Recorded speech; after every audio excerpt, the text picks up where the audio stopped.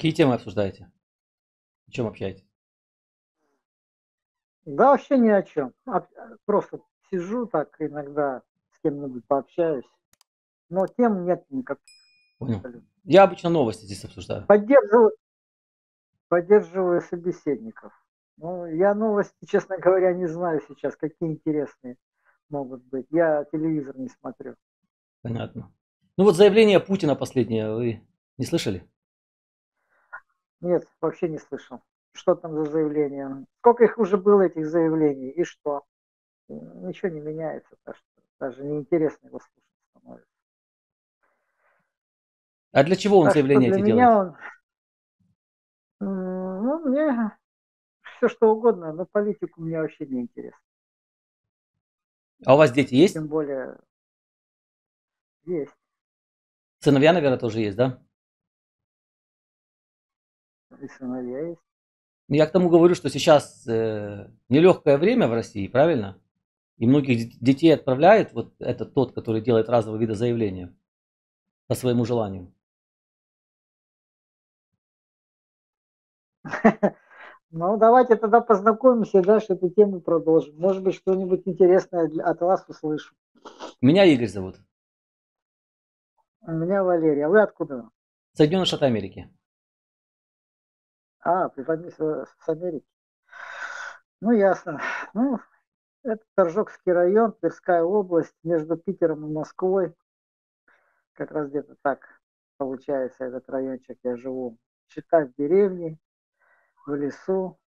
Ну и что там Путин такое интересное сказал? Давайте я хоть от вас узнаю. Он сказал, чтобы сесть за стол переговоров с Украиной и с Западом, но он именно всегда говорит Украина в связке с Западом. Он сказал, нужно чтобы Украина вывела свои войска все из э, областей украинских, то есть это Луганская, Донецкая, Запорожская и Херсонская область, то есть все эти регионы должны быть освобождены украинскими войсками. Сняты санкции почему-то. Он раньше говорил, что санкции идут России только на пользу, что чем больше санкций, тем лучше для России, а сейчас почему-то он требует, чтобы эти санкции сняли. Ну, естественно, чтобы Украина не была в НАТО. Вот скажите мне, он дурачок или он прикидывается? Вы знаете э, такого писателя, поэта, артиста Леонида Филатова? Ну, я помню его в общих чертах. Я не могу сказать, что я его знаю, знаю. Но я помню, что он писал какие-то Ну, я имею в виду, да. Ну, там про царя, про дурака, про... Может, помните, да? Да, я помню. У него, ну, хорошо. Значит, у вас образ возник его, его лица, его, его это, физиономии, так сказать, или его образа. Значит, у него есть такое произведение, называется «Лизистрата». А, его, это произведение, его читали, перечитывали разные артисты, в том числе и Михаил Задорнов. А, но я хочу вам только небольшой отрывочек рассказать из этого, из, этого, из этой поэмы, потому что она была э, написана для театральных действий для спектаклей в театральных заведениях, так сказать. И были постановки на эту тему. Вы можете записать э, слово Лизистрата, Леонид Филатов, и потом поискать его в интернете найдете. Михаила Задорнова найдете, полностью это э, произведение найдете. Там есть такая тема. Значит, ну, Лисистрат – это имя девушки, незамужней, которая подговорила всех своих девушек в Древней Греции, не своих девушек, а всех девушек со всех крепостей Древней Греции. Много крепостей было в Древней Греции. Мужчины постоянно друг друга там пытались морды набить, так сказать, воевали между собой, между этими крепостями. И вот эта девочка, девушка, вернее, Лизистрат, она подговорила всех кухарок, всех торговок, всех проституток, всех жен и невест своим мужикам, которые воюют, не давать. Вот не давайте все, пока они не перестанут воевать. И тем самым э, все крепости возмутились, все, вернее, мужики в крепостях возмутились и стали узнавать, как так, в нашей крепости не дают. А когда выяснилось, что во всех крепостях не дают, ну, эта тема такая, можете почитать, можете не почитать. Но есть один отрывок. Значит, там такая ситуация. А, Приходит, значит, э, предводитель со своим войском к своей крепости, в свою крепость, э, а ему не открывают девчонки. Сидят там за крепостью, закрыли двери, открыли только окошко и через окошко разговаривают с ним. А так, когда предводителя этих войск дошло о том, что они там мужиков этих обсуждали и договорились между собой не давать, то он начинает диалог с таких слов. Пока вы тут беспечно верещали, мужчина он такой, малосекой, без, бесстыдницы, мы вас же защищали, оберегая глупый ваш покой. Лизистрат отвечает, постой, ты что-то путаешь в запале. Известно ведь любому пацану, на вас не нападали. Вы напали. Вы первыми затеяли войну. Вы гражданам защиту обещали. А получился форменный скандал. Кого и от кого вы защищались, когда на вас никто не нападал. Ах, сколько ж на земле людишек подлых, такие уж настали времена, где подлость преподносится как подвиг, и просите за это ордена. Предводитель, позволю вам заметить сукоризной, и поскорее возьмите это в толк. Мы защищали долг перед отчизной, священный перед Родиной долг, Лизистрат. Перед Родиной, конечно, неудобно. Долги, конечно, надо отдавать. Но почему она в уплату долга с вас требует кого-то убивать? И коли у вас пред ней долги такие, что даже жизнь в уплату ей пустяк, то хочется спросить вас, дорогие, зачем же вы одалживались так? Коль Родина удар наносит сзади, да так, что в голове потом круги, то хочется сказать вам, не влезайте вы к этой страшной Родине долги. Ведь ваши сыновья поймут едва ли из-за каких таких возвышенных идей, зачем и для чего вы воевали и сиротили собственных детей. Пророческие слова, конечно. Я не читал эту лизострату, я посмотрю, конечно, но я... Это 1986 год. А скажите, это сейчас в России запрещено или еще не запрещено? Мне просто интересно. Я знаю, что много литературы ну, в России по сегодня. мере, вы это... Нет, это можешь запросто читать, и можешь запросто другим рассказывать, и можешь смотреть. Ну, по телевизору такое, конечно, я думаю, не покажут. Нет, конечно, не показывают. Это что же, они будут сами про себя показывать и рассказывать? Ну, по крайней мере, я тебе так скажу. Вот э, ты давно в Америке живешь? Извини, Очень... что на ты, но мне как-то кажется, э, кажется, нормально будет, если мы будем на ты, да? Можем на ты. Больше 30 лет. А, больше 30 лет. Ну, понятно. Я так скажу. Я жил в Казахстане э, до 2000 года. Ну, до 1999. До, так сказать, полного вот этого бардака который тогда только, как говорится, как этот, э, как бочка с, э, с дегтем летела с горы. Вот э, как раз это был 99-2000 год. Она как раз была уже на подходе. А, переехал, значит, в эту Россию. И что могу сказать? Сейчас вот по всему тому, что происходит как было в Советском Союзе, то, что американцы делали, мы делали, как говорится, наоборот. Да? То есть то, что нам предлагала Америка, мы делали наоборот. И то, что как нас учили в Советском Союзе, что американцы это капиталисты, это собственники, это э, индивидуалисты, а здесь у нас советский строй, значит, здесь все общее, но сейчас, когда окунулся в капиталистический, капиталистическую Россию, я тебе так скажу, что хорошего мало в капиталистической России. И, скорее всего, дело идет к тому, что и Россия, и Украина, и Белоруссия, и все, что, что, все, что находилось в постсоветском пространстве, оно будет возвращено. Все идет к этому. Скорее всего. Возвращено куда? Я куда возвращено? Не смотрю. А, э, в ту социальную сферу, в которой он раньше, когда в ту социальную сферу, в которой она раньше жила. То есть, э, ну, я не буду называть его Советским Союзом, да, как общепринято, но территория, которая принадлежала Советскому Союзу, она, скорее всего, будет восстановлена. И она будет восстановлена под эгидой, ну, не под эгидой, не под предводительством, а под всеобщим, под, под, под под э, всеобщим, так сказать, признанием Российской Федерации как э, сотворца вот этого объединения. Потому что, если помнишь, когда только началась, э, ну не перестройка, ну только-только Путин пришел к власти, да, э, уже можно сказать, в то время уже пустили такую информацию, как э, Тартария. Слышал, наверное, нет? Ну, конечно, слышал. Нет, мне интересно, знаете, какой вопрос? Как вы ну, пришли вот. к тому, что это все вернется под эту гиду? Вот смотрите, то, что вы сейчас прочитали, это стихотворение, да? Как Украина может вернуться под эгиду даже вот той России, в которой сейчас есть, если количество смертей, количество жизней настолько высоко, и за уже больше двух лет, которые Россия проводит так называемую эту спецоперацию, России не удалось сделать с Украиной в принципе ни, ничего, свои планы Россия не смогла воплотить в жизнь. Больше того, что Украине только сейчас, в принципе, вот этот маховик начинает набрасывать больше оборотов. То есть самолеты получать Украина, подписываются контракты, совместные заводы, а западный мир, вы сказали про капиталистическую Россию. Дело в том, что в России не капиталистическая Россия, а гибридно-капиталистическая. То есть Россия взяла для себя от э, капитализма самое худшее и от социализма и коммунизма самое худшее. А по сути, в принципе, ничего не изменилось, власть узурпирована, кучка людей, принципе, контролирует все, что она хочет контролировать, но при этом, вот то, что мы видим за пределами России, да, и то, что мы видим, как украинское общество ведет себя по отношению вот этой страны, то можно, в принципе, с уверенностью сказать, что не получится у России вот объединить в себя то, что вы сказали, Беларусь, э, Россия Украина.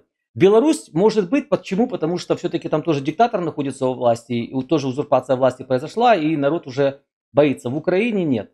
В Украине посмотрите, что происходит на сегодняшний момент. Идут бои за условных два села или два каких-то очень маленьких населенных пунктов. Это при том, что у России был, было это окно возможности, когда Украине западные страны практически ничего не посылали. И она продержалась. А теперь после того, когда Украина начинает получать, все то, что и должна получать было сразу, в принципе. Я считаю, что вот моя страна, Соединенные Штаты Америки, очень мало сделала за тот период времени, который могла, в принципе, сделать. Но, тем не менее, даже с тем, что сейчас этот вот оборот набирается, я вижу как раз наоборот, что дни России сочтены. Вопрос только времени. Эта страна будет разрушена, эта страна будет точно так же, как и Советский Союз, э, раздроблена, и путинского режима не будет. Ну, давай так, я с тобой соглашусь ну, 50, даже 60 э, на 40, в твою, так сказать, версию больше перенесу, но э, ты не учитываешь совсем другое еще. Одну самую такую маленькую, но очень самую, э, так сказать, весомую вещь. Парадокс. Вот это будет парадокс против твоего всего, что ты сейчас сказал. Оно будет объединено, и оно будет, э, ну, как тебе сказать, не то что объединено, оно помирится быстрее даже, чем вы думали. Быстрее. Э, мало того, я когда еще пацаном был совершенно маленький, ну, наверное, в классе пятом, может быть, нет, не пятом, наверное, все-таки в классе восьмом. А, у нас там был один спор с одной девочкой, вернее, а у нас так получилось, что одна девочка поспорила с учительницей, по-моему, географии о том, что вот у нас ждет война с Украиной, вот нас ждет там такая-то, такая-то ситуация, чуть ли не ядерная катастрофа, вот нас ждет такая-то, такая-то. И мы всем классом против этой девочки возмущались как только могли. Но что самое интересное, эта девочка жила в моем дворе. И я с ней общался в песочнице, можно сказать, да, с самого детства. Я тебе больше скажу, она была еврейка. И родители у нее были евреи. И родители ее работали на телевизионной, на телевизионной студии оба. И они владели информацией, которой не владел никто вообще ни в школе, ни во дворе, ничего. Но она, так как по своему детскому недоразумению, можно сказать, выкладывала на все, что там преподносили у них в семье. И мы, конечно, так слушали ее, как завораживающую сказку, но в память это вкладывалось до такой степени крепко, что мы даже иногда удивлялись, как так, она такая салага, и я сейчас вот нахожусь, скажем, в возрасте 40, 30, 50 лет, например, да, и слышу ее те самые слова, которые она всегда была, она стояла в противовес всей системы в то время. И она потом ушла, уехала, не помню куда, а, отец у них там умер, так случилось, и мама вышла замуж за другого и уехала, не помню куда. Но факт то, что в другом, что все, что она говорила тогда, споря с учительницей географии или там с, с нами, мы-то были как бы подкованные, мы же пионеры, мы же там комсомольцы, мы же там кто только не могли. И все, что она нам рассказывала, она нам рассказывала про то, как, э, что обозначает звезда, да, для нас было это кошмар, как так, это может быть козел какой-то перевернут. Она нам рассказывала про систему 666, она нам рассказывала про эти войны, про этого Машиаха, про это Бог знает про что. Мы смотрели на это как на дурочку. А сейчас, когда мне уже 60, я ее вспоминаю почти постоянно, особенно в последнее время. Я понимаю, что те родители, которые ее воспитывали, они владели такой информацией, о которой нельзя было просто так рассказывать. Я тебе могу сказать, что я начинаю верить в то, что они там знали. Я вижу сейчас эту войну с Украиной, да, я вижу сейчас, но я и знаю другое, что это все вернется э, в более крепкие, в более дружеские отношения. Мы же, как вот э, во дворе себя, может быть, помните, если вы жили, мы сначала, прежде чем принять кого-то, как сказать, свои друзья, мы сначала подеремся. Мы подеремся, морды набьем, зубы поубиваем там, или еще что-нибудь, да. Вот у меня сейчас друг есть один, очень хороший, мы до сих пор с ним очень дружим, он сейчас живет там в Казахстане. Мы с ним начинали именно так, но мы подрались из-за того, что, ну просто потому что так было положено. Ну вот у нас так, так вот заложено. Сначала надо подраться, а потом уже мы будем друзья. А... И вот то же самое произойдет и у нас с Украиной. Мы Я... сейчас подеремся и будем самыми, с крепкими друзьями. Смотрите, в вашем, вот весь вывод, который вы сказали, я вижу одну большую логическую ошибку. Одно дело подраться, а одно дело убить друг друга. Понимаете разницу? Дело в том, что если вы посмотрите на людей, которые ну, потеряли я тебе образ семью, я а понимаю, но дело в том, что здесь оно получается, ну, не может работать одинаково в обе стороны. Главное, я услышал вашу тему, я услышал, э, что вы хотели, что вы, что вы думаете. Я думаю, вы услышали, что я думаю. Да, но я к тому говорю, что я еще и хорошо знаю, что такое система американская. Сейчас э, прервется, к сожалению. Вы здесь? Да. Друзья, противоречивые чувства по отношению этого собеседника. Напишите, это контора, как вы думаете, или это все-таки человек, который э, что-то понимает, но в то же самое время ему проще так жить и утешать себя тем, что все-таки можно как-то все вернуть, поставить все на те же рельсы, как было, и чтобы опять дружили и так далее.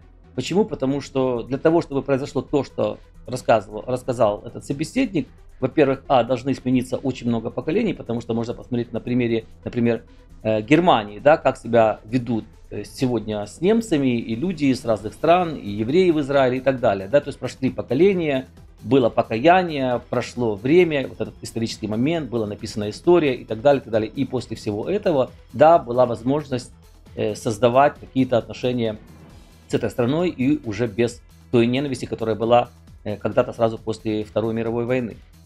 Однако можно сегодня смотреть другие примеры по другим странам, да, что происходит. И поэтому, в принципе, я надеюсь, что вот в ближайшие годы, в ближайшем будущем это забываться не должно и не может быть забыто. И я практически уверен в том, что украинцы не смогут простить. Я знаю, что многим хотелось бы, чтобы простили, потому что все-таки есть семьи в России, и в Украине есть семьи, у людей из России. И вроде бы как бы они бы хотели, чтобы все наладилось как прежде, но оно не получается уже.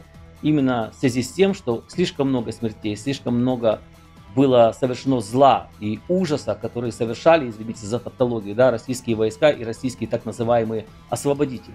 Именно они приходили, вот этот человек рассказывал это про, про он рассказал про женщин, которые давали и не давали. Еще можно добавить к этому то, что им будут не давать их жены, они пойдут в Украину для того, чтобы заниматься тем, чем они занимались в Буче, в Ирпене и так далее. Понимаете? Это просто не люди. А когда нет ничего человеческого внутри, то вот эти все действия и все эти стихи, которые говорится, взывание к совести, это все можно говорить про нормальных людей, нормальной психикой и с нормальным здравым смыслом и пониманием. А когда не люди, то у них ничего этого нет. И им все равно дают им жены, не дают. Они будут идти, захватывать, грабить, убивать, насиловать. Именно потому, что вот это то, что находится у них внутри. Друзья, напишите в комментариях, что вы думаете по этому поводу. Я вам, как всегда, всем желаю добра, любви, счастья, благополучия, понимания, скорейшей победы и мира. И мы с вами скоро увидимся. Пока.